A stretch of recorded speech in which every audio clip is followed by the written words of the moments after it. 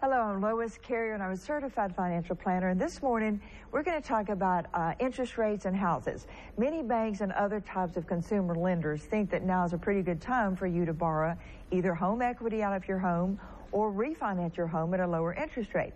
Now, next week, we're going to look at some of the reasons they said were good time things to borrow money, equity for your home or refinance. Now, in case you're thinking about tapping the equity in your home and you need a refresher on what type of borrowing vehicle is right, we're going to take a glance at the following comparison because there's only two ways to get money out of your house. One is through home equity or loan refinancing. And these offer a fixed interest rate for the life of the loan.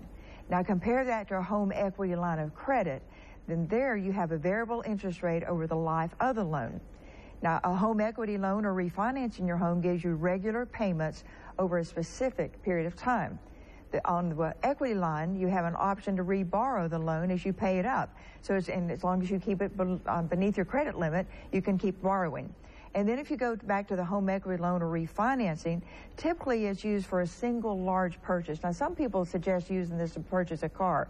I personally can't imagine paying for a car for 30 years, but you can think of all other large things you could put on a 30-year loan that would be worthwhile. If you go back over to the home equity line of credit, these are usually used to fund ongoing expenses such as home renovations, uh, decks, bedrooms, and things like that, garages. So you can imagine your own. And then with the home equity or the loan refinancing, the entire amount of the loan is given to you upon your approval. Whereas your equity line of credit, you have a checkbook, and as you need your credit, you just go in and write a check for whatever it is you need. So I thought before we got into the reasons given for refinancing, you should at least know which is which. So we have, again, the home equity loan or refinancing your house or a home equity line of credit. Hope that's helpful to you.